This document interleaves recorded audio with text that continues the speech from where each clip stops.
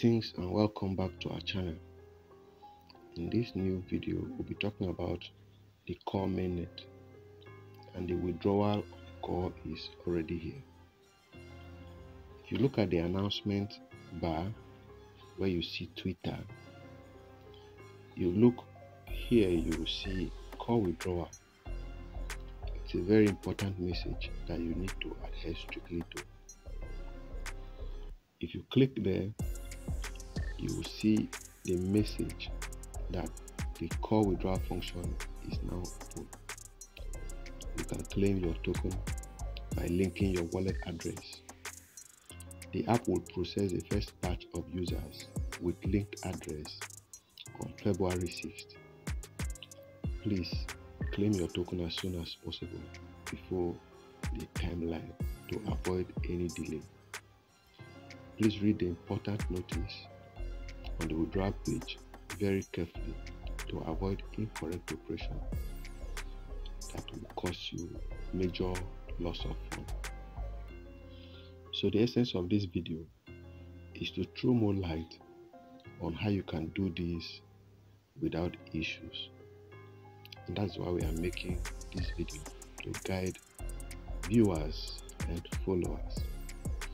Please watch this video very carefully to the end.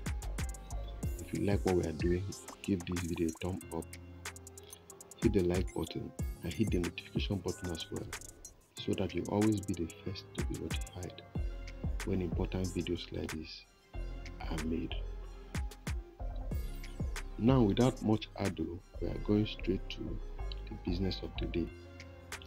And this procedure, if you look below here where you have the tax bar, this area here, you notice all the icons there. You see airdrop projects team quotes and me. It will be much about you here. So you click on me and we are in this very area of this uh, satoshi page. So in this area you click on this arrow at the end of your wallet there's an arrow there. There in that arrow it will take you to where all the assets are displayed. This is where you find all the assets being displayed. You find btc you find core you find ethereum you find tca and uh, tcb and tcc all the relevant coins associated with this project we are more interested in core because the core withdrawal is here. And so if you look at the extreme end of the core function you realize that there is an arrow here again. Now when you click on your token you will see deposit withdrawal and transfer. Like in the case of other tokens are here where you see deposit withdrawal and transfer. Even in btc you can see the withdrawal button for btc is open. And likewise in satoshi you have the same withdrawal buttons open as well in this format. Here you'll be prompted either to select your region or to link your wallet address. Depending on the stage you are any of those questions can come up. But in case you're requested to select your region what you need to do is go back to me where you get to personal settings.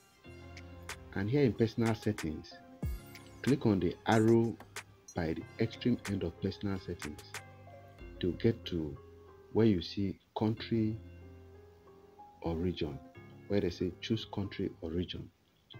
So here if you click on this area you will see the list of all the countries in the world there. Select your country and highlight it and you'll be okay then. After doing that you can now return back to where we were where you click on this arrow at the extreme end to go back to that withdrawal page.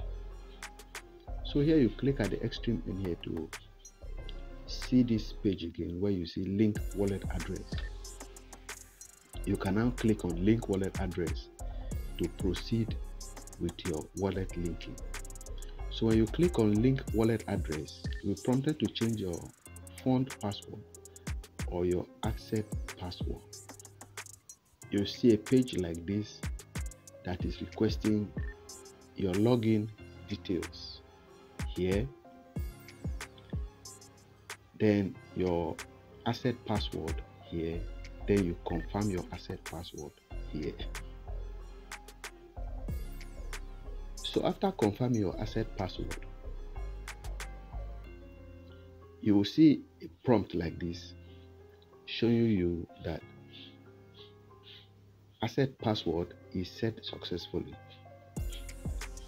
Make sure you copy those passwords and keep them in a very safe place where you will not forget them or where it will not be misplaced. And where no one else will get access to access to it because that is your fund password. You'll be needing it. It's very important. After doing this you need to refresh your system to return back to where you'll be linking your address. If you don't refresh it, you will continue to see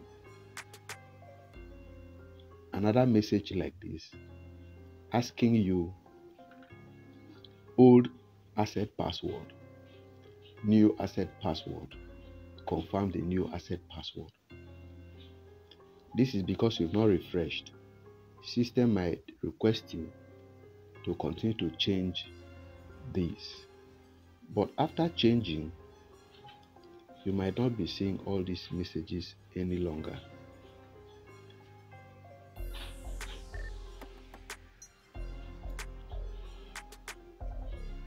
So after changing your asset password, the link withdrawal address will be open to you. If you click on it, you will now find this very option where you can go to your MetaMask wallet, pick your wallet address, and drop it on this page where you can find it here. And then you'll be requested to enter your asset password. After entering your password, like this, with your wallet address up here, you can now hit this button call link withdrawal address and you'll be taken to the next stage where you are requested to check your email address for a verification code that will be entered here. So go to this email address that you used for your call. There in your email address, you find an email from Satoshi that looks exactly like this. Now click on that email and you will see a code sent to you from Satoshi. The email topic says you are transferring or withdrawing on Satoshi. Now, this code that you are receiving is very important to proceed to the next step of your wallet linking. So copy that code and return back to the previous page. So when you get to this page, you will need to paste the code here and then click on confirm. The app will automatically request that you start a verification. You need to verify that you are not a bot and then you click here to start verification where they say start verification the verification process will prompt you that you allow satoshi to make and manage your phone call. you click on allow and the next stage you say allow satoshi to access your photos and media on your device and you also click on allow after you allow satoshi app to access those very informations. Your camera will be activated as though you were logging in for the first time.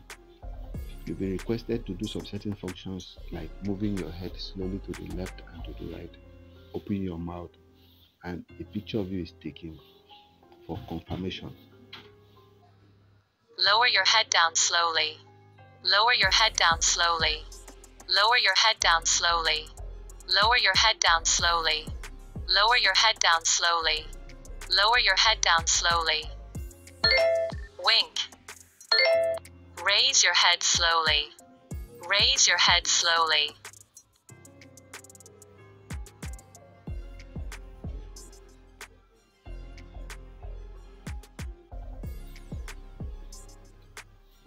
So after doing all the needful, you will be prompted that your address has been linked successfully. And when once your address is linked, whenever you come into this very area, you'll be shown link your wallet address. And when you click link your wallet address, you will see your address will automatically pop up above there, which means your address has been linked. In as much as you've seen that notification address linked successfully. And there's a message below here that says you can link or change your wallet address three times before you can lock your transaction. If you see here, you, you realize that I have two times left. I've linked once and uh, I can lock my registration. I need to do it like three times to lock, but I'm okay with this first one. And that is the message. The most important issue here now is if you see a repetition of the messages being written here, do not use a core deposit address from any exchange. Do not use a core deposit address from any exchange. Do not use a core deposit address from any exchange. This message is repeated for warning. And the essence is if you do that, you will not receive core from the smart contract. So you need to be very careful not to use an exchange address. Use the address from your MetaMask. Use the address from a decentralized wallet. Use your address from a decentralized wallet to be on the safe side. So that is it on how to link your core. I will make another video to show you how to add core the core mainnet to your MetaMask wallet. In that video, I will be rounding up some things that I've not talked about here for the purpose of clarity and understanding. Thank you for watching and see you in our next video. Bye.